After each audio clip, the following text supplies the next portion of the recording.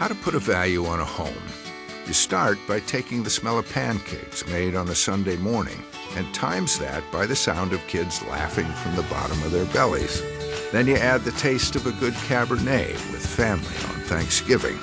Multiply all this by about 100,000 memories, and then you have the value of a home. Coldwell Banker, where home begins.